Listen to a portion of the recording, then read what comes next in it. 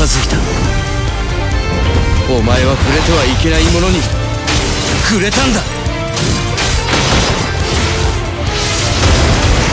私はブルンをもっと偉大にするつもりです。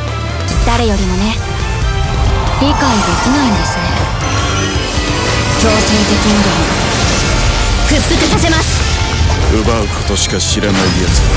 今度は俺が奪ってやる。俺の苦痛に比べれば何でもない